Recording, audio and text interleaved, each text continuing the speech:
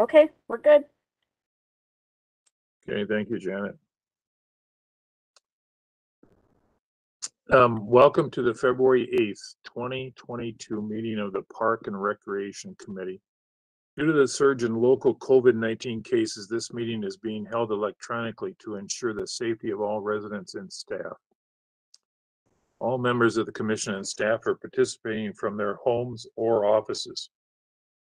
For members of the commission, please remember to mute your microphone when you are not speaking and raise your hand if you would like to speak. We will have roll call votes for each motion this evening as well as for adjournment. I will ask staff member Janet Catton to call roll after each motion. I will repeat the motion for the record before we vote and will also repeat who made the motion and seconded. Before we begin, there are a few things I'd like to cover for those listening in or watching online. The public has two ways to view the meetings tonight. They can watch the live stream on the city's YouTube channel or listen via phone using the WebEx call-in number. There is no community comment during the meeting tonight. The city is committed to hearing and receiving your input on matters. The public can send in comments to the commission through the commission correspondence web form on your webs, on our website. The recording of the meeting will also be available to watch on the city's website tomorrow.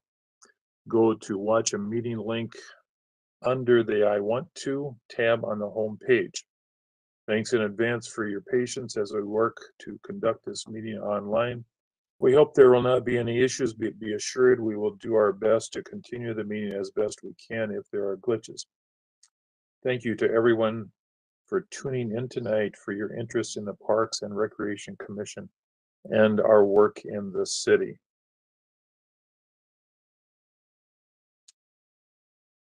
Um, Janet, please, um, call, I'd like to call to order then. Uh, Janet, can you do the roll call, please? Sure. Commissioner Good, Here. Commissioner Itis, Here. Commissioner Jaw, Here. Commissioner McCauley, Here. Commissioner Nelson. I don't hear, but there are things on there. Um, Commissioner Strother. Here. Okay, Thank you. Uh, item three, um, I'll ask for the motion and a second for approval of the meeting agenda. So moved. Second. The motion for approval of the meeting agenda was made by Eileen and seconded by Greg. Janet, roll call, please. Commissioner Good, Aye. Commissioner McCauley, Aye.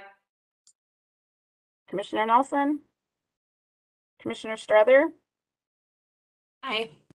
Commissioner Itis. Aye. Thank you. Uh, item four, uh, I ask for, um, a motion and second for approval of the minute, meeting minutes from, uh, January eleventh. So moved. Second. Uh, motion for approval of minutes, uh, minutes, uh, was made by Commissioner McCauley and seconded by Commissioner Good. Janet, please. Commissioner Good, Aye. Commissioner McCauley, Aye. Commissioner Nelson, Commissioner Strother, Aye. Commissioner Itis. Aye. Thank you. Uh, item five, reports and recommendations. The first one, um, is, uh, Tracy, I believe, is going to do something on the senior center update, please. Uh, Good evening, Chair and Commissioners. Um, Tonight, um, Nicole Gorman is here, Recreation Supervisor for the Edina Senior Center, and she's going to give a brief update on programs at- at- and activities taking place at, at the Senior Center. Thank you, Tracy. Good evening, Commissioners. Um, I just wanted to give you a a brief update. Uh, I presented back in February of 2021, so I thought I'd just let you know some of the things that have happened up until now from then. We started limited in-person programming back at the center on March 1st of 2021. We were offering um, programming for up to 10 people and we were filling the programs. Uh, we went to full capacity on July 1st and we are continuing to offer virtual and in-person programming as well as take-home kits. So similar to the Rectivity kits that we did la- in 2020. And then Laura uh, Fulton, who is the new recreation supervisor for arts and culture, she offices out of the senior center and has been adding more art programs at the facility. And then we've had some staffing changes. Um, we had hired a program coordinator last January, a year ago, and she received a full-time offer at a nonprofit. So she left in September of 2021. And then at the end of September, we had our new program coordinator start, and her name is Bree. So she is slowly getting integrated into the facility. And then one of our other um, longtime part-timers had left in December of 2021. His name was um, Ed Bergeron, and he was with us for five years. And he covered all of our evening and weekend rentals and programming outside of facility hours. And um, we were able to fill his position with uh, Joe Voltaggio, and he started uh, the beginning of January of this year. Um, our building rentals are starting to pick up. We have had we have resumed our regular rentals, which includes a church on every Sunday, and then the Greater Twin City Youth Symphonies rents us um, throughout the school year. And then Park and Recreation has been utilizing the facility after hours for dance, gymnastics, and music together classes. And so the, the center has been a bit busy.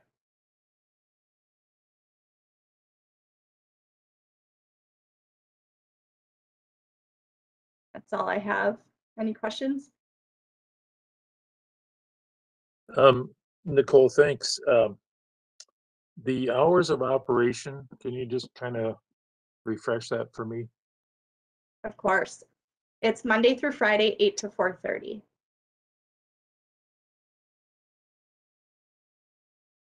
And then this is Julie. Um, you, I, I have a full disclosure, a child who's doing uh dance in the evening there. Um, and so do you just have then the one staff person who's there um outside of the community um programming? Right, like there's the dance teacher, but there's always one staff person at the front desk. Is it just one person who's there in the evening and or and is it just there through the time that the programming is done? So Joe is the individual, he is the senior center staff, and he does cover the evening programs and rentals on the weekends. So yes, he's the one staff we have in the evenings. He's great. So Thank you. I'll let him know that. So I think to clarify, Nicole, the senior target hours are eight to four thirty. And then the rentals and program activity is on top of that for weekdays and evenings, correct? Yes. Hey, Nicole, this is Greg. Just a couple questions. Uh, number one, as you've come open or back to full-time, I think as you called it, as of July one, I'm interested to see what have you seen the attitude uh, and comfort level with uh, people coming uh, on site versus people participating virtual? Uh, it's quite divided. We have a group of participants that don't feel comfortable coming back to the facility yet. And so we have seen certain programs um, not excelling like they had pre-pandemic. And then we have other groups of people that are coming and they are just so excited to be back. So one example would be our American Contract Bridge League. We have about anywhere from uh, lately, because of cold weather, the COVID surge, and people flying south for the winter, the numbers have gone down a little bit. Um, but typically, we get 40 to 80 people for our bridge league when it's at full capacity. And right now, we're averaging probably between 20 and 40 for that event. Um, our other programs are one-time educational offerings, which we typically filled pre-pandemic to like room capacity, which is anywhere from 40 to 48 people. Um, we're now seeing maybe 10, 15 at most. Okay, So we are seeing uh, a change. Um, but I think as we get closer to spring, I think we'll see some of those programs start to ramp back up. Uh, and then our 500 car group, we started off with one table of four, and we're now up to 14. Hmm. So it's fun to see the difference and what is picking up interest and what's kind of waning. yeah. And, and I know, second question, I know it may be difficult to assess during COVID, but with the opening up of the residential building across the street, have you seen that impact participation, new groups of people coming in that maybe had not utilized the facility before? Um, not as many as I had hoped. Okay, We do have quite a few participants who had, were participants of the center prior to the building going up and then they moved in there. So it's hard to say. I would, maybe a handful of new residents that have been coming over. okay, all right, thank you.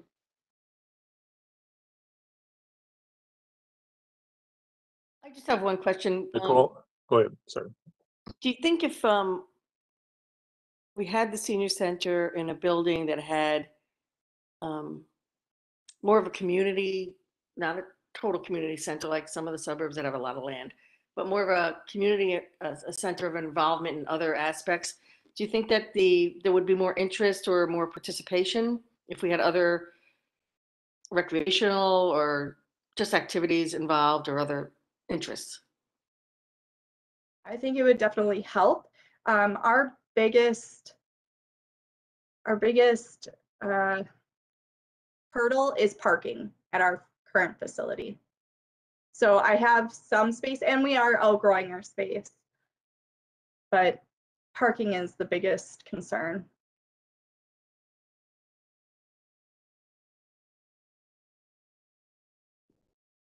Maybe if I could, just building Nicole? off of that, if you, if you think about what we could add from either programming, activities, or if we had something else as we think about potentially another site in the future, if we had something else in the space facility itself, what might be two or three of the items that come top of mind?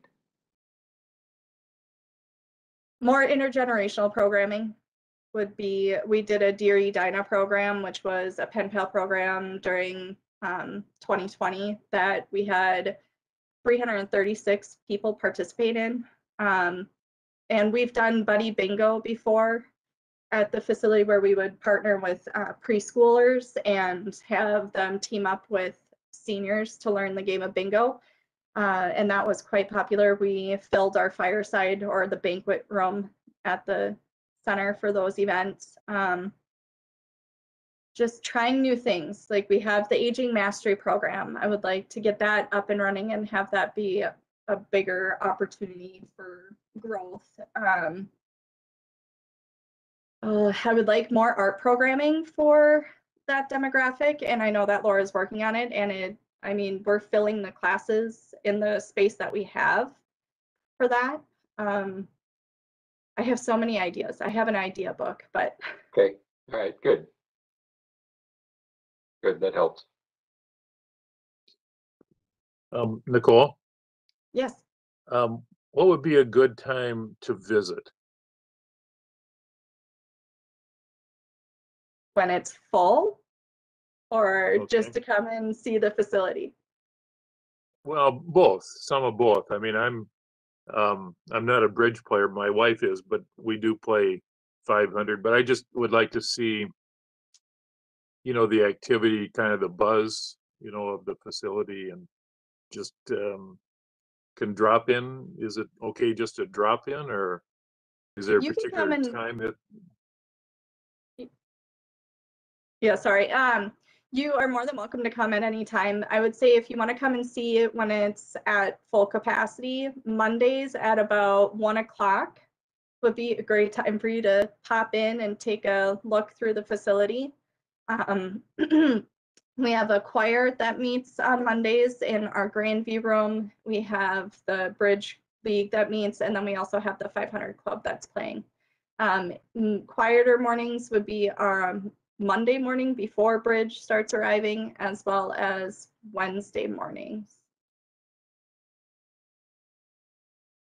Thank you. Mhm. Any other questions for Nicole while she's here? Very good. Thanks for coming and uh, a lot of information. Thank you again. Uh, Thank you. Commissioners, I'll just add a, a little bit more about Nicole. When she talks about her idea book, that is uh, um, extremely true. Um, she's one of our uh, most creative and, and dedicated staff. And um, while she gave you an update this evening on the senior center activities, Nicole actually does a lot more than just senior focused activities. She does a, a lot of events and other programs within the community for that. And she and I always joke when she mentioned the item about being more intergenerational. We always kind of have a joke about the worst thing you can do for a senior center is call it a senior center. Um, and uh, and just the adaptability of Nicole and her staff throughout the pandemic. Um, you know, one of the things that she didn't really mention were trips, and that was a, a, a focus before. Those are very limited, and just you know the ability to bring people together with what people are worried about and and what they're comfortable with. So um, wanted to thank her and her staff uh, that operate that facility over there um, for a for a quality demographic and difficult times. So wanted to say thank you to her for that.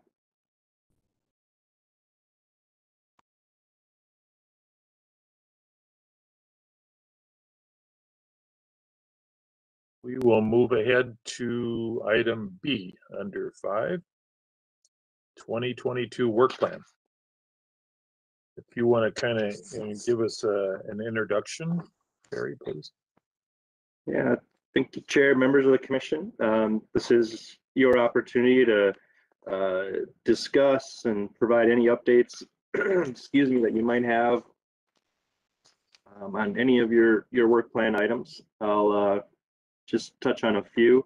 Um, This afternoon, I had shared out a, a draft of information to the, the leads for initiative number two um, on that. So that should be in your your inbox and some additional details that uh, had been put together. Uh, initiative number uh, five, um, you don't have an update on that. Um, Tom and I will have to provide you items to discuss on that one. And then for initiative number six, um, last uh, month you did discuss and provide some feedback to uh, Bill Neuendorf, who attended the meeting. Uh, the full city council actually looked at that Grandview plan at their regular meeting last Wednesday. So while um, you've already reviewed and comment on that, um, while Commissioner McCauley will be off the hook after this month, I guess you could say, um, for Commissioners Haas and Struthers, I think it would be important if, um, as that comes back around, because it's kind of gone through this concept sketch plan portion, um, we continue to kind of connect you to that and any updates that are going on with with the Grandview plan um, as that goes on. So um, between the HRA and the City Council, we'll, we'll try to keep you informed on on when those items are um, for that plan. So those are kind of the the updates on those pieces for that. Um, one quick item on initiative number four is that uh, city manager uh, wants to put together a, a task force to look at the uh, Braemar master plan, specifically focused to facility upgrades and expansions. So I think as you discuss that um, for your work plan, that's going to come back around to you as a review of the master plan. Um, would be to uh, discuss representation on a on a task force from the commission level um, before that comes through. So it'd be uh, members of the community, mainly primary users of Braemar Arena, um, that would be on that. But We would like to have some Parks Commission representation on that task force that the city manager assembles uh, to kind of have obviously a voice on that, but also to help follow the, the process and the consistency as that comes before you um, yet this uh, this spring. So uh, those are the updates I have on that. I've not received any other updates from commissioners, but if they have any this evening, we can discuss those further. Um, Perry, I have a- one question, um, well, a couple of them. Um, thank you for your information or the stuff on number two. I mean, that was, uh, um, It's a lot of stuff there. Um, on, uh, on number four, when, when, uh, you said that there would probably be a task force, can you, knowing that there was a resolution made by the council, uh, a few days ago, January nineteenth, um, can you give us an idea about the formation of the task force, the timing? And then, because my feeling of reading that four-page resolution, I get somewhat excited about the, it's moving on the fast rail, so to speak. So um, certainly the three of us that are on there at this point, plus any new, can you just give us a little bit of a perspective about timing?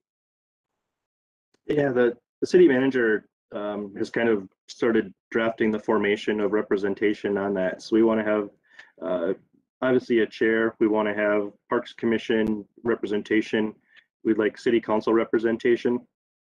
Um, the city council representation will probably be in advisory fashion, um, just to ensure that, um, again, kind of having that consistency from beginning through process to when it comes to them. So, um, so they'll be looking for council uh, representation on that, and then also from the uh, Edina Youth Hockey Association, the figure skating, uh, the City of Lakes Figure Skating Club representation, obviously representation from the school district. Um, and then, uh, and then a couple of members of the, the public and that are related to the Braemar uh, arena concept. Um, he would like to form that um, towards the end of this month to have a series of meetings upon that and then bring forth uh, a recommendation or an, an advisement opinion. Um, there's consensus to the Parks Commission, you know, most likely around April, and then get that in front of the council as well to then uh, to make a recommendation about an amendment to the master plan. I have a question. You mentioned um, citizens, uh, members of the public related to the Braemar Arena project. Sounds like the hockey associations covered, the ice figure skating covered. Are- That statement concerns me that we're just going to only have people that are focused on the arena, looking at the entire Braemar master plan. I- Do you want to reword that or is, or clarify Yeah. that? I may be talking off the cuff a little bit too much. Um, I know we want to have the consistency because the main focus is around the arena. However, to have some external representation on that as well, because I think it is important um, to look at the other facilities within the park, right? Um, and maybe they're not included in the local option sales tax pursuit, but I think it's important if we look at the master plan to look at the other facilities within that and say, yes, other pursuits should be had in that fashion, if that makes sense. Yeah, Um, Eileen, if you don't have any follow-up on that, I guess I do, because now I, I thought I knew where you were coming, and maybe now I've grown a little bit more concerned with your last statement. Two questions. One, when we had the presentation from the gentleman from the Hockey Association a few months ago, it was stated that the extra ice sheet was a bonding deal and not a loss deal. Is that differentiation still true? That has actually changed. Um, Okay. yeah, the support for the state bonding through the legislative representatives um, has determined that it's not feasible, palatable, or um, I think there's there's concern about how that would flow through the legislative process. So in exchange for that, the legislative representation for Edina has agreed to open up the lost bill and add in that funding as part of the local option sales tax. Okay, so that, that's helpful. And so now I do attach somewhat more to what Eileen was saying. In that when we created the Braemar master plan, it was probably, I don't know if it's fair to say 80, 20, almost 90, 10. The rest of Braemar Park and the facility itself was a small piece of that. So now if the, if the seesaw on this is going the other way around, I would be very much concerned if it all became a lost about Braemar Arena and not all the other components of the Braemar master plan that we developed, because I think those are the ones that are gonna have uh, a strong connection to other parts of our community, you know, outside of those that just enjoy sheets of ice.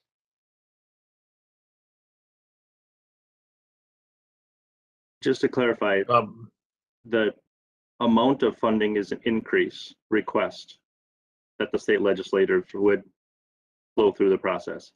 It would not take away funding from the other parts of the master plan that were already looked at. So- Good. And I, I think we just want to make sure that that, uh, that we give both sides of that some good attention, right? So it doesn't just become a, you know, a, a Braemar ice issue and not, uh, not as, other aspects of the master plan. I In don't- lieu of bonding, it would be to increase the amount of capacity for sales tax. Yep, okay. Um, I have one comment then. Yeah, in response to Greg a little bit, the, of the total that I have according to that resolution made on the nineteenth, the park portion, so to speak, is about fifteen percent now of the total. Yeah, the rest of it is arena, ice. That comprises about forty-five million now, Right, from a dollars perspective, Yeah. I would, I would expect that would be correct, right? From, right? from impact, impact to the park and other amenities and attractions that we were trying to build into it. Uh, you know, the, as I said, when we at least created the Braemar master plan, we weren't really touching the facility itself from an asset being Braemar Arena. We were looking at, at other aspects of the park, so. But I would absolutely Yeah. agree and understand if the dollars swing more towards the enterprise of Braemar Arena in order to do what we're now talking about doing without the, the bonding bill support. So I'm not sure about the fifteen percent chairitis, but the amounts for the other aspects that were previously identified remain the same. So the amount Right, identified for right, Fred right. Richards stayed the same. The Braemar Right. master plan stayed the same. The difference now is the amount of infrastructure investment that is needed inside the arena and potential expansion. So um, I just wanted to highlight that's kind of the piece that has delta or changed. Yeah. The other aspects Um, remain the same for their allocation requests. Yeah. So I get, you know, our initiative um, is to provide support. That's what it says, provide support for educational opportunities for the lost. So since this is now three times the size, and now there's gonna be a task force involved here also, does that change in any way the work that at this point the three of us have been assigned to do? Or let's say there's a task force, and I don't know the limitation on the size of a task force, but let's say, let's say there's twelve people. How does that, is there a relationship between that group of people and the three of us from the park board of what we're trying to do in terms of educating people about the lost? Because this initiative has changed for us substantially since January nineteenth, I think. Only because of the magnitude and the allocation of dollars, I think. So I'm just, I'm not concerned. I just want to know, you know, where's, where's our relationship to the task force and the change in this substantially versus what we thought last month? Even last month when we talked about this, this is a lot different. Yeah, I, I- think in two ways it would change. One, it would change the aspect of um, this will include not just three people assigned to an initiative, but in a separate sense, the entire commission. So from one aspect, uh, the formation of a task force to look at facility improvements is a precursor to should or should not the master plan be amended. So there's this, this kind of a, a new ask of, of the community, right? To look at adding additional ice sheets. So that's a new ask that needs to come through a process. Um, Then there's also the ability of educating the public at various opportunities on the referendum.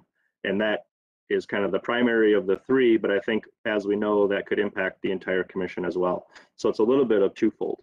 Um, What we're waiting right now on before formation and to look at the plan is we had talked about it a bit last fall when uh, the the representatives came and said, we'd like to make this request, and that's, we need to do an operational assessment. And I think Commissioner Good, I think you're concern at the time was, do you have the staff capacity to undertake that? Um, you know, what's the impact on staff? What we have done is we've um, um, looked at outside help to facilitate that. And it's an operational assessment, an operational review of what would that occur. Um, so part of what the task force would have to look like is in what we would bring through as part of a master plan amendment is what is the impact to the arena? Um, and we don't have that, that uh, information done yet, but it's what's it going to do to its cost recovery metrics? What would it ca- um, cause from a staffing perspective? What does it cause from, um, does it um, impact the amount of available ice in the community? To what extent does it meet the needs of our users? So um, once we have that, we can have more conversations around, is this basically, you know, and you break it all down, is, is this a good idea or a bad idea that we do this, right? Um, I think we, we always say in the ice arena realm is you can never build enough ice arenas from 3 to 7 p.m. in the winter. You will never have enough of them. But I think what we need to be conscious about, and that's why we're looking at it from an operational assessment, is what does that mean for a Friday night in July? Yep. Um, how does that impact us from a year-round standpoint? Because we know there isn't enough ice in the winter, but how does that impact? What else would we have to do? How do we staff it? How do we manage it? What does it do to our capital requests and our capital replacements?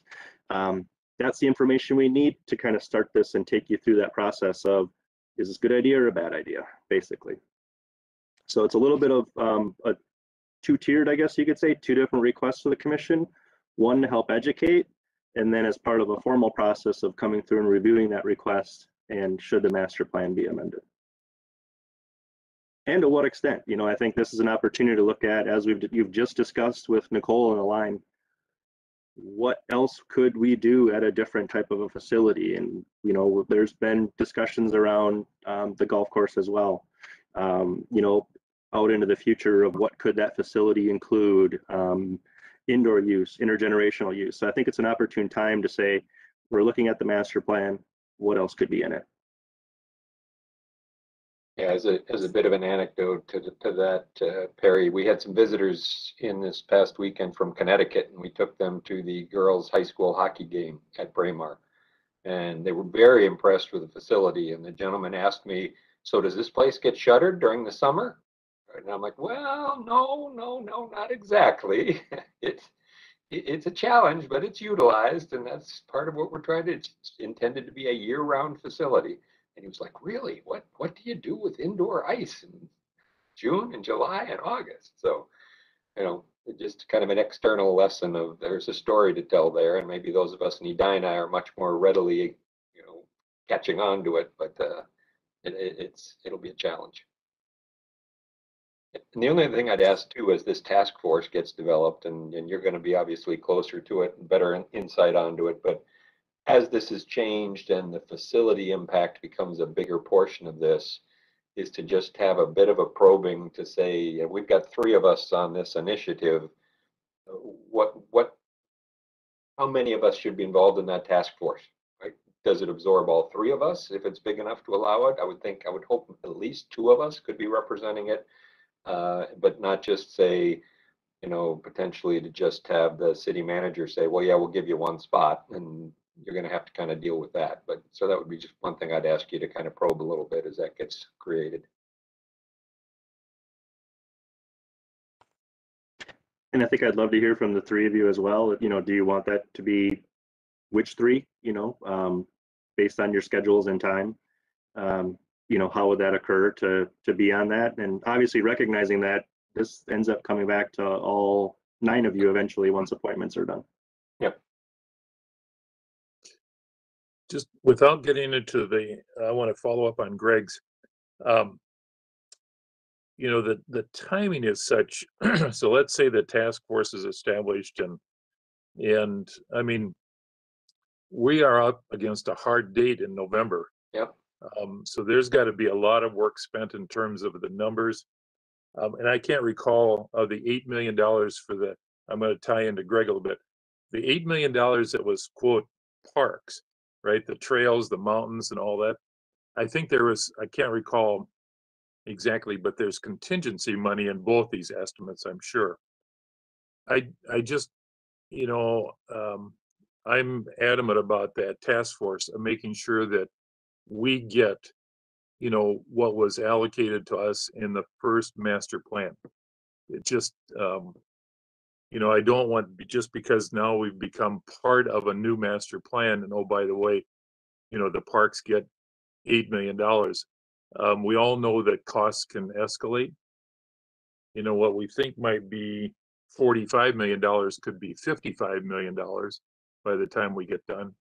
And, you know, I'm just, I know we're, this is way ahead of schedule, but I just want to make sure that, that, um, um, we get adequate representation at the table. Yeah. I- Yeah, just to, just to comment on that, I think that's been um, pretty clear to me, and I think, you know, we'll have to discuss how to make that clear to other people, is that um, one of the things that I've, I've kind of always said along this process is I never really wanted to break up the master plan and pursue individual pieces of it because someone or something in the master plan could, is always left behind. They're always a secondary priority. They're always part of phase three um, that either runs out of money or, you know, isn't a priority at the time or, or whatever it might be. So I think that's, that's, I believe the beauty of saying, this is the amount for those needs, then this is the amount for those Right. needs, right? Um, Right. is that the, the, the goals for that, when you look at it, you know, the pedestrian trail system, the mountain biking, the on, the, and to be clear, like the no snowmaking ski items, right? Uh, you, you, you've gone through the ski making or the snow making thing, right?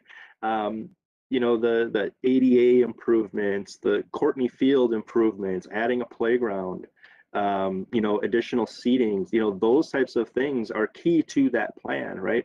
And that's why, you know, in my judgment, it's really hard to, to try to break that up because then you're, you're, you're trying to pick winners and losers. And the, the goal of keeping it all together and keeping it as a master plan is then everything that was important at the, to the community is then funded. I think that needs to be pretty clear. Yeah, thank you, thank you. Yeah. Um, Agreed. uh, any other questions on this particular one or?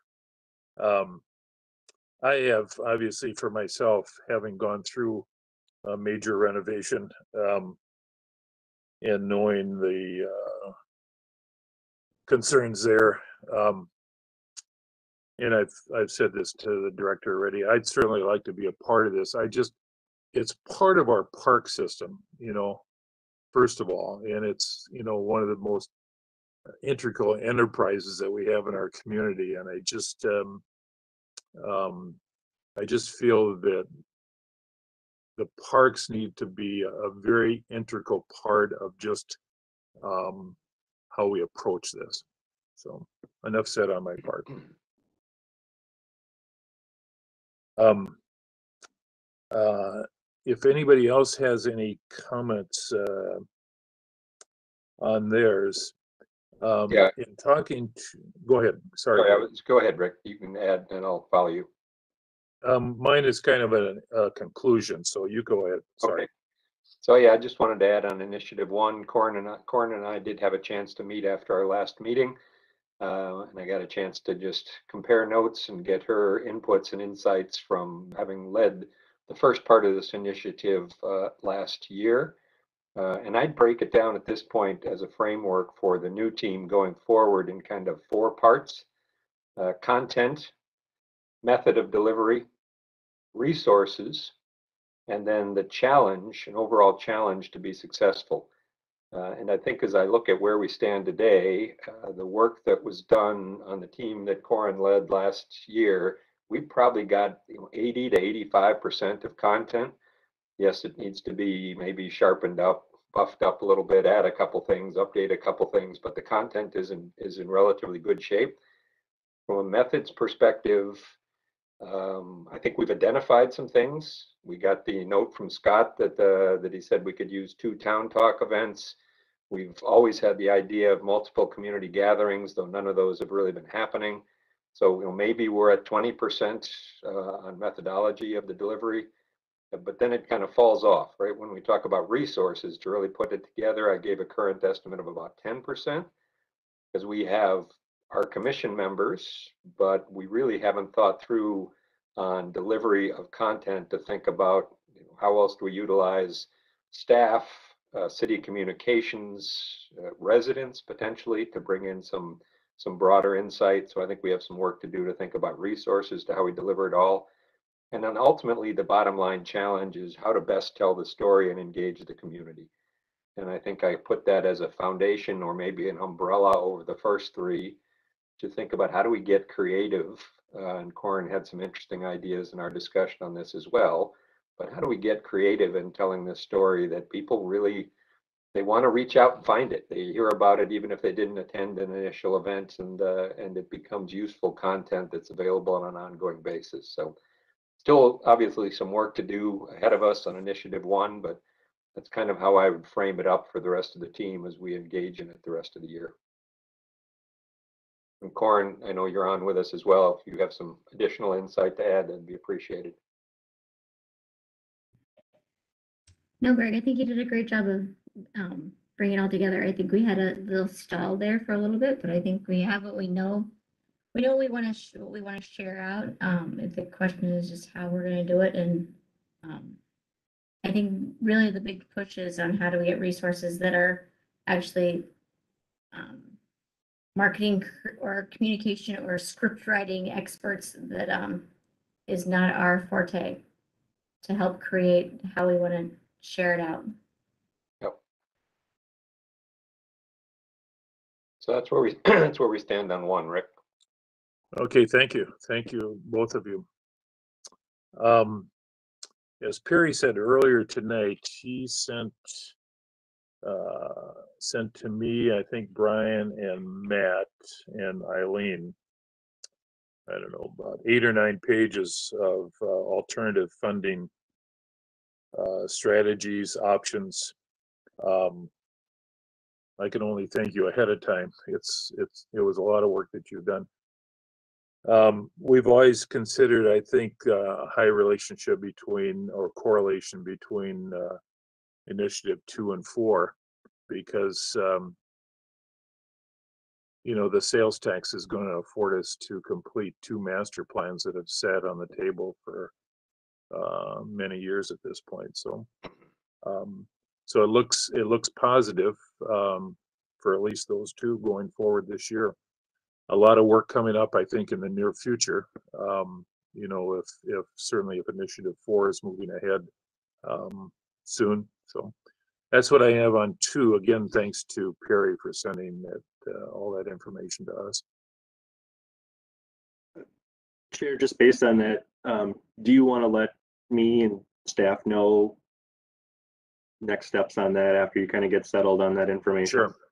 Yeah, I think what, what, uh, as we talked yesterday and my thinking for every, every initiative is that, um, you know, now that the likelihood of going back to, uh, virtual instead of in-house or in-person meetings, that we should probably make some type of commitment. I think, uh, Greg and your group has been very good about it. And just having some type of, um, scheduled meeting in between our park meetings. So we just, um, I think some of these initiatives are very time sensitive in terms of work having to get done. Um, so I just would think that we're going to do that, I know, on ours. And, um, just, uh, it'd be nice if every, every group would, uh, you know, make that commitment to have, uh, a meeting certainly between our park meetings schedule. So I don't know if that answered your question, Perry, or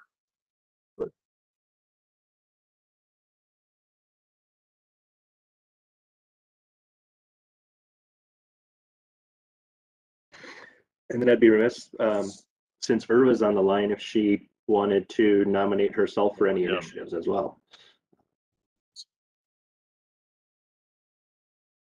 Or she can think about it and let us know.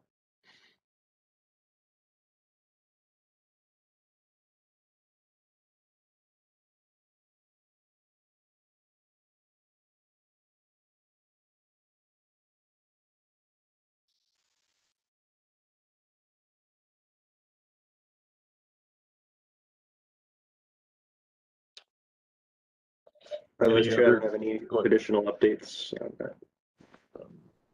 I don't, know if anybody else has others, or if not, we can, um, we can move ahead to item C under five today. Thank you, Chair. Uh, Members of the commission, um, we can conduct this. We do have a quorum, so we can, can, we can conduct this business item as well. Um, February is your annual uh, commission elections. Um, This evening, you need to select a, a chair and then uh, a vice chair um, by going through a, a nomination process. So um, the first step is to make nominations for chair. Um, anyone can nominate uh, any member of that uh, that is on the commission. They may also nominate themselves for the position. Um, there has to be a second for each nomination, and then there would be a vote. Um, and in case of, the, of a vote this evening, Janet will will call roll because we're virtual, um, rather than than putting hands up and things like that. So we would call roll. Um, after a chair is selected, then the floor will be open to nominations for a vice chair. Uh, the, the role of chair and vice chair are identified within your, your packet and they serve for one year. So not sure if you had any questions on that. Otherwise, um, we can start with that uh, uh, election process. Um, I would like to nominate Rick Bites for chair. Um, I think, uh, he's done a really good job over the last two years through these difficulties. And he's key to the alternative funding and some of the key initiatives that, uh, the commission has to work on going forward. So I nominate Rick.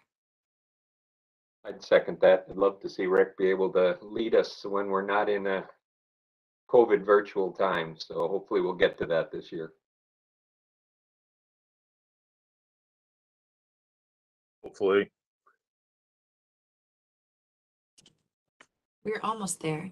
We're back together for a short period. I know it. We had a brief window, even in City Hall once, right? right. You're right, you're right. I remember telling Commissioner Nelson, we just hoped we had enough hand sanitizer.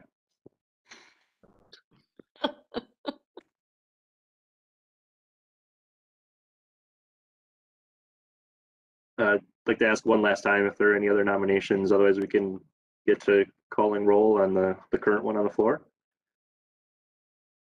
Janet, would you, would you call roll on the motion for Rick Itis for chair made by Commissioner McCauley and seconded by Commissioner Good? Commissioner Good, Aye. Commissioner McCauley, Aye. Commissioner Nelson, Aye. Commissioner Strother, Aye. Commissioner Itis. Aye.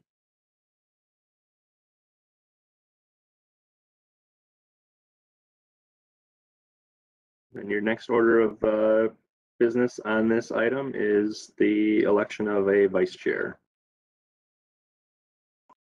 Um, I would like to nominate Greg Good if you will accept. We have four new members coming on. I think uh, Greg's experience will be uh, critical moving forward. Um, so if he's willing to accept, I would like to nominate Greg. I'd like to second it if he wants to take it. Greg does, a- did a great job last time he did it.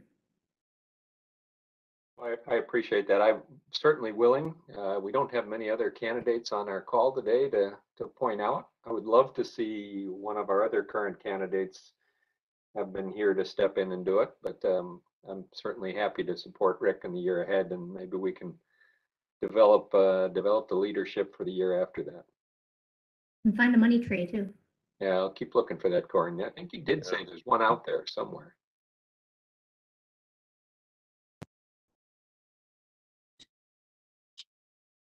Just want to clarify that I've got that right. The motion was made by Commissioner McCauley, McCauley, and the second was by Commissioner Nelson. And I'm probably breaking all the like Robert rule of order and all of this, but I will say I really appreciate Greg, Commissioner Good, your willingness to um step up and help lead us through a period of transition. I am um I appreciate it. I know it uh it does not, it um vice chair um is a little less time than chair, but um it it takes some time and commitment and appreciate your willingness to step in. Sure. You know, Thank you. Does it, does it come with seventy rounds of golf as well? No, you, you actually have to do eighty this year. Oh, I, I, I thought maybe I That's don't the make it half benchmark. as much. If I could get to thirty-five, I'd be way ahead of the game. You didn't retire this Okay. year. They're not guaranteed to be successful. That's a personal issue. So any other calls for nominations? Otherwise, we'll ask Janet to call the roll on the motion for Commissioner Good as vice chair made by Commissioner McCauley and seconded by Commissioner Nelson. Okay, Commissioner Good, Aye. Commissioner McCauley, Aye. Commissioner Nelson, Aye. Commissioner Strother, Aye. Commissioner Itis. Aye. Thank you. Thank you, Greg. Yep. Um, item six, chair and member comments.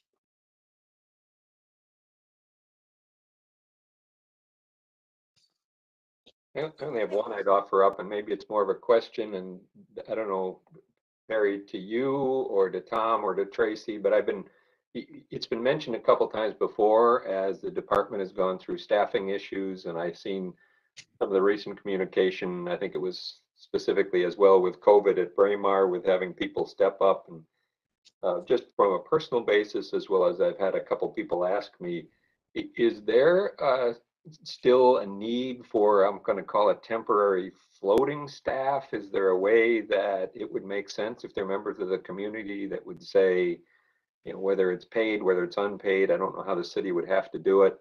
But if there were people that were interested in putting their names in as well, so you didn't just have to continue to shift city staff around, is there a process to do that? Uh, an individual that's a good contact, contact point? Just curious as to both the need and the process to fill that need if it's there. Thank you. Uh, Tracy and Tom can, can jump in here and correct me if I'm wrong, but um, we currently have all of those positions that we are continually short on advertised on our website. And I know if you are wanting to fill in, that doesn't necessarily mean you want to become a, a full-time or maybe not a full-time, but a, a part-time or seasonal worker for the city.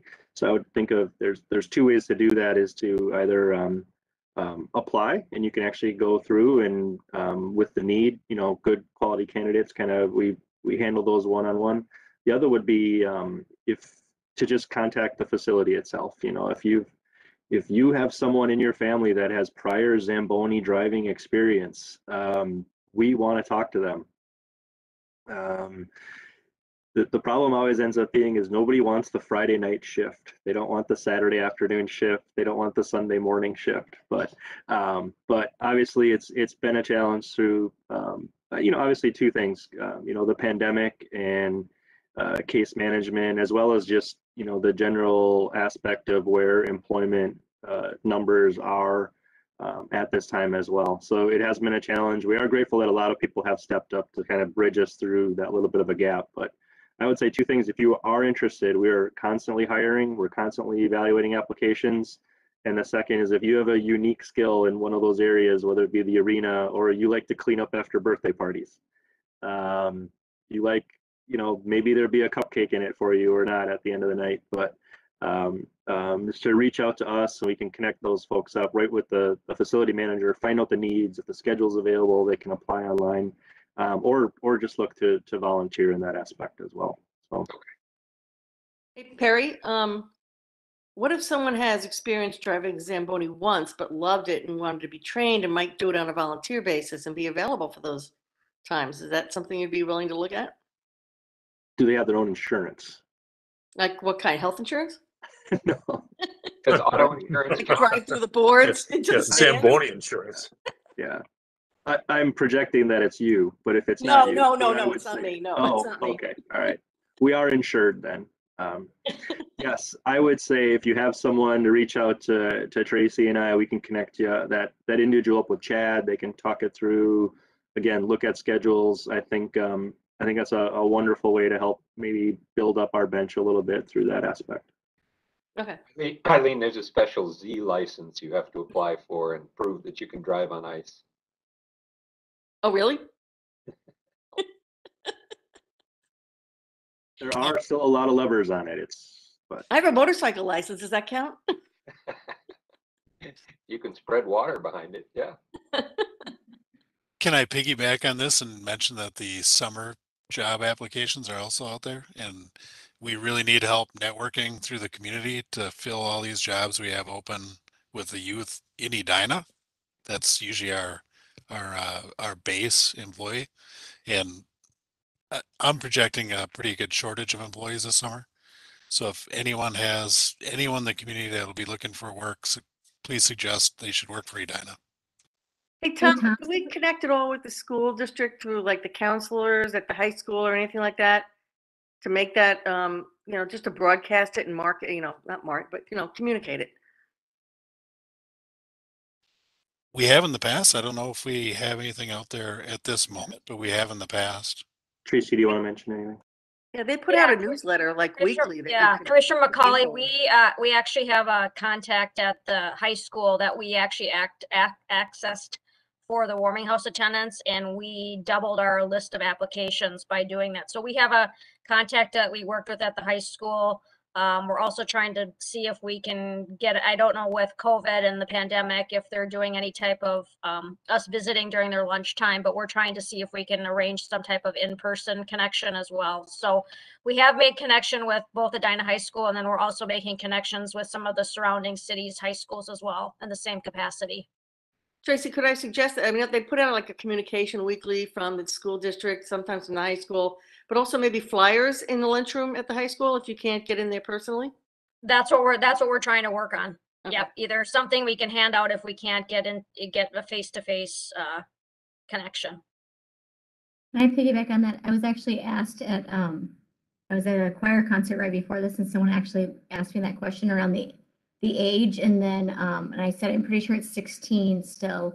Um, but they wanted to understand around the, um, the volunteer part of it. So if you're fifteen, can you volunteer? And if you volunteer, what is the requirements? So I don't know if there's much, um, I couldn't answer the questions. Um, so it might be something, and maybe that information's easy to find. I just couldn't easily access it, but um, I think there's kids out there who have volunteer hours they want to do and start to build their resume that um, may not want to sign up for their whole summer 40 hours, but may be interested. Um, her exact words was his favorite thing he ever did as a kid was the park programs, which I was like, yay. And so he wants to help other kids. Um, so maybe just like a Tuesday, Thursday from one to four or something like that um, as a volunteer. So I don't know if what the ruling on that is, but it literally, I was asking me this right before I came tonight, so I thought I would bring that up as a, um, the volunteer aspect of it for the under sixteens. Yeah, maybe if we're able to get some written communication or an in-person, we can piggyback both the volunteer opportunity, because we do have that. Amanda has that with the playground program. Um, the volunteer program, so we could add that i- information. And we probably need to get that information on our website too in a little Right. better Even if spot. it's on the website, I mean, Edina Moms um, has a pretty mad Facebook entertainment value um, that we can get a lot of things happening. Moms are um, real helpful, so I think that it might, if there's a good way to point to them, I would have, I, it would be helpful, and then we can just, you know, it's great to use the the normal communication aspects, but there's a lot of moms out there who are help wanting to help their kids find something, and the kids aren't being as um, they're not as opportunistically looking as they could be um, to what's right in front of them.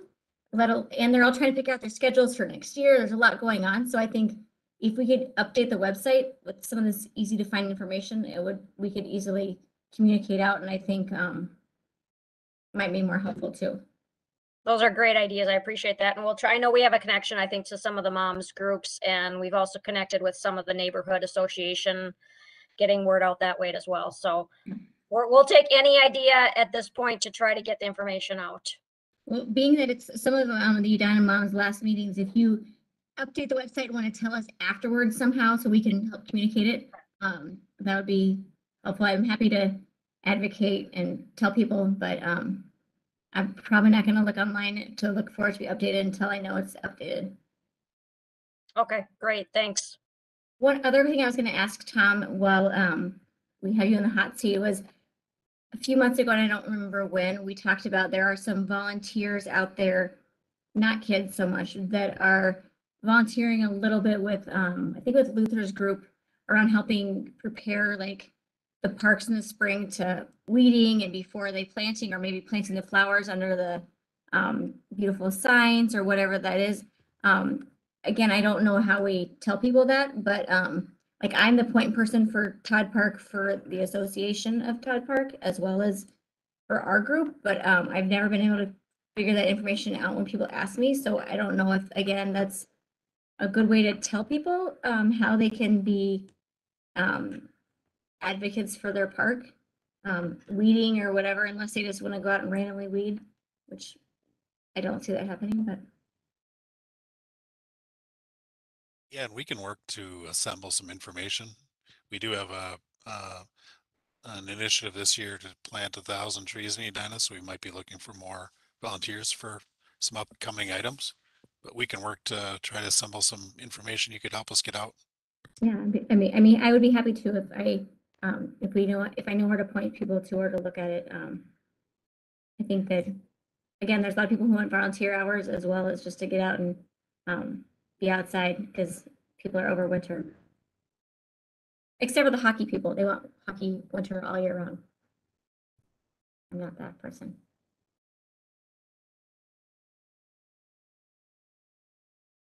Sounds sounds I like, we sounds like we just did a work, lot of work on initiative number three there to back up a bit, huh? Right. Expanding our volunteer assistance for park initiatives, Right. so. We're, we're moving that one along tonight.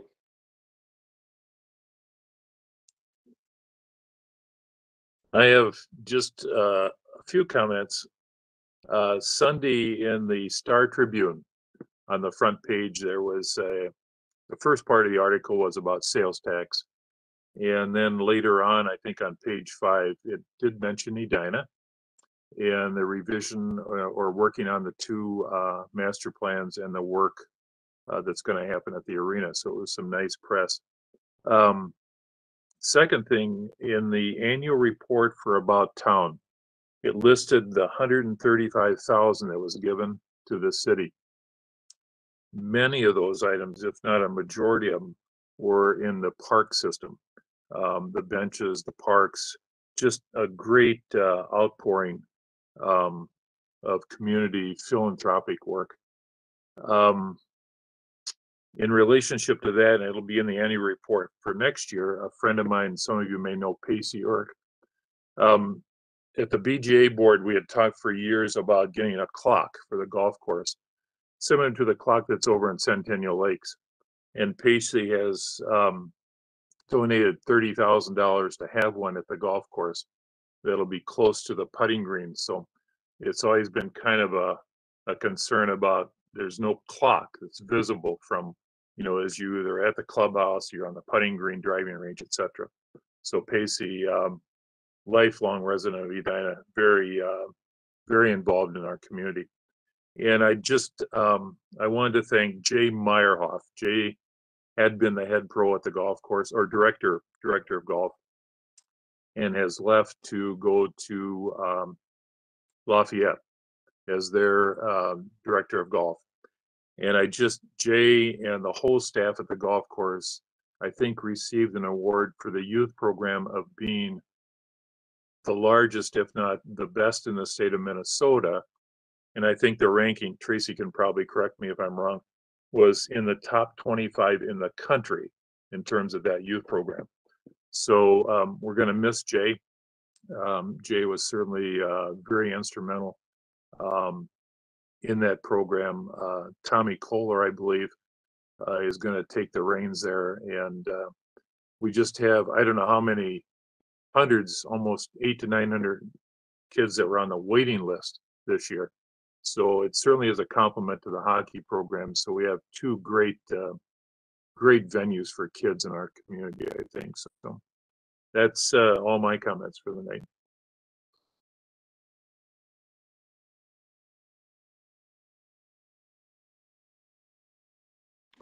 Thank you, commissioners. You're leading us right into some of our informational items. Uh, The first is just a reminder and also something to, to spread the word on, um, if you wanted to, is that our first day of registration for our spring, summer offerings will be on February 16th. and that will occur at noon, um, obviously through through our through our website and through Civic Rec. So if people haven't uh, made an account uh, since last registration or they want to update their account, it's always best to do that ahead of time. It's also why we start at noon and not 8 a.m. So no one's stuck uh, getting someone on the bus or trying to log in while they're stuck in traffic or anything like that. So uh, again, February 16th is that first day of registration. Uh, Chair Itis did talk about uh, the award at uh, Braemar Golf received, and it is correct. It's through the uh, PGA Junior League, and it is uh, the the largest program in Minnesota and top 25 in the country. So, um, also another award for uh, the uh, Golf Range Association for the work at the golf uh, uh, range was a top 50 public facility in the United States. So kudos to that staff. Joe Abood, um, Jeff, Mary, Amy, Jay, Tommy, Greg, everyone that that works over there, Pat, um, are all fantastic and do such a such a wonderful job for us. So, um, the Centennial Lakes Park is uh, accepting uh, applications for the farmers market and just recently selected or uh, received applications for the music activities throughout there. So again, a lot of uh, summer planning going on there. Um, as Tom mentioned, uh, the Next Gen Tree Program um, will be occurring this summer. It's the goal to plant a thousand new trees in Edina on public and private land. Um, and uh, Tom and Luther um, are overseeing that that wonderful project. So um, a note, um, if you do hear it come up, um, the bridge over Crosstown that connects to Rosland Park was was hit by a vehicle. Um, unfortunately, that's a MnDOT bridge. Um, I guess fortunately, it's a MnDOT bridge. Um, I guess if you look at it that way. Uh, the unfortunate part is it has closed that uh, access over over Crosstown. So um, we do not have a timeline from MnDOT on that on what it could take to repair or anything like that. Uh, there had been requests given to MnDOT that if and when the bridge ever was replaced, that it needed to be ADA accessible. Um, now you've got a lot of stairs there, so um, those discussions had been going on from a purely planning standpoint. Um, however, we don't know where this will occur with the extent of the damage or or what their decision might be. So, just to clarify on that, we are we are getting a lot of calls that has interrupted actually some uh, um, bike commuting, um, I guess you could say, through that area. So uh, the bridge is heavily used even in the winter.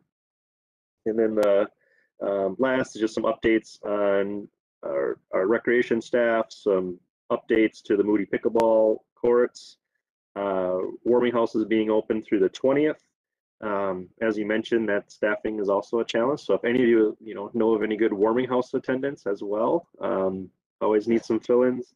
And then the last is we've um, brought on a, a, partner to, to help us on inclusion and uh, support that um, we can offer to our athletic associations, also in our programming, and that's Reach for Research, Reach for Resources with Inclusion Services. So uh, Tracy and I have a, a history with them, and they do a fantastic job. And you won't see any drop off in the quality of service we provide for inclusion. I guarantee you that. So um, if there are any questions, we can answer them. Otherwise, while you're thinking, I'll move on to your your next meetings and events. Um, should be uh, determined probably this week or next um, on the movement back into in-person meetings. Um, wanted to draw your attention to the April 19th date. That's a Tuesday as well. Uh, that's your joint city council and parks commission uh, work session. If you recall that, that's uh, that's an early one. Starts at 5:30, and there's uh, um, always two commissions, and that evening will be the Parks Commission and the Arts and Culture Commission. So um, I think they went first last time, so maybe it's your turn to go first. We'll have to have to talk about that. And then um, the last item that I put on the agenda this evening was just a, a recognition of um, the years and meetings of service, years of meetings uh, that have gone on for two members here this evening and three in total, and that's Commissioner Nelson, Commissioner McCauley, and Commissioner Miller, who's not able to be here tonight. And we listed a, a number of their accomplishments in the packet this evening. Um, I'm not sure if they wanted to focus on any additional ones or, or their years of service, but just wanted to thank them from uh, the, the community perspective, what they helped provide, um, the, the conversations, the goals, the, the effort that was put in, and then just the assistance to myself coming on new, um, you know, accepting into the, the community and um, helping define priorities and uh, all, all the like of that. So wanted to thank them tremendously. And I don't know if Commissioner Nelson or Commissioner McCauley has any, any thoughts on that. I know Commissioner Nelson and I, we discussed a little bit about some of your, your favorite projects that, that maybe you wanted to mention this evening. Um, you know, your work at Rosland Park was, was a huge initiative on the, uh, the accessible playground and you talked about the signage and we kind of joked about the in Grandview and Grandview and Grandview again in Grandview another time. So um, wanted to, to thank you all on that. So not sure if you others had comments or if or if you had had anything to remark as well. But this is this is your last official meeting, so we wanted to save some time for you. Corin, go ahead.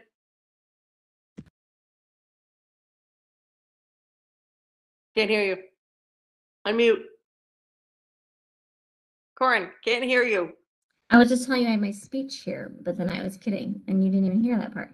Um, I don't really have anything to, um, to, to say. I mean, I, it's been a long and fun, um, more fun sometimes than others. Uh, I think this last year has been a real challenge to stay engaged with, um, all the obstacles, but it's been a very fun time and I'm really glad for the people I met and, um, I hope that I can still continue to see you guys in passing and I know I'll see the the Edina uh, staff with your green tags and when I see you up at Caribou and, and around town. So I, I'm just really happy that I met people and um, I hope we can continue to make some progress. And I'm gonna hope to see Greg find that money tree. And uh, I'm glad I'm glad to see Grandview is going in the right direction. And um, yes, Rosland was my most favorite project I did because I feel like it. Even my kids still talk about how we helped pick out that um, and I don't know if any of you were there besides Janet the day that I had to have a heated debate on camera about how we should, should we or not fund it or not fund um the um the all inclusive. So it was one of my uh favorite meetings. So you can go back and look it up. It was with uh, me and um our uh Edina school board person at the time. So yeah, it's funny. You'll Find it on the YouTube channel. You should. You should. Um, I just uh, wanted to say uh, six years has gone by so quickly, um, but it's been a great education in how local government works, and I have such an appreciation for what staff and elected officials go through on a daily basis. I can't say enough about staff. Um, they've been great through the six years. Um, I hope everyone in the city realizes that these are not, you know, 8:30 to 4:30 jobs, as you can see from tonight. Um, there's a lot of extra hours they put in on extra projects and things like that. Um, Edina is a great city to live in and a great city to volunteer in. I understand we have over 90 volunteers stepping up for the commissions this year, which just speaks to how um, how happy people are with uh, living here and uh, volunteering and giving their time to the city to make it um, a great place to live. Um, well, I'm sad to see the end of my term. Again, I'm encouraged with the amount of people that have stepped forward to uh, fill in these slots. And I want to thank all my colleagues on the Park Commission. Um, I've learned a lot from those of you who have been on the commission for many years. And I know you have good things uh, to work on going forward. Um, and just uh, keep the public informed and keep them engaged. And uh, I urge everybody in the city, especially if you're looking to run for elected office, please serve on commissions. It really teaches you about how um, the sausage making happens. And it is sausage making. It's just the nature of the game. So it's frustrating at times, but it's uh, it can be really rewarding. And um, I guess my favorite project a- as I end would be uh, Arden Park. I lived over in that neighborhood, and I've still we people say, "Wow, that's so great what they did with Arden Park." I love going there now. I really go with my kids all the time for the creek, and it was just a, a really, really good project. So that would probably be the the one I will remember the most. Um, probably because I live there, but I think it's it's a beautiful park now. So thank you to staff. Um, thank you to my colleagues on the commission, and uh, I wish you well going forward. And now I can send you emails.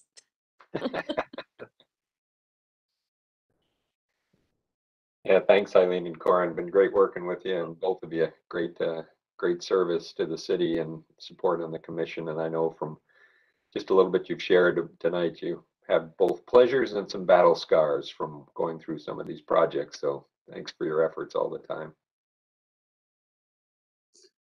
Um, I have, having lived in this city, let's see, almost fifty years. Um, I just want to thank you, uh, for me and my family. It's people, uh, that volunteer, like the two of you, that, um, with all the time, the extra time that you take away from your families, you know, the nights and the task force and the meetings. Uh, it's, um, individuals like the two of you that make a difference of where we live. And I just want to thank you both. And maybe just to, to add on that, Rick, although he's not here tonight, publicly thank Mike as well for Yeah. his years of service. And I Yep. know he came with some passion and Yep. some good talents for us as well. So certainly enjoyed working with Mike as well. Yeah, I agree.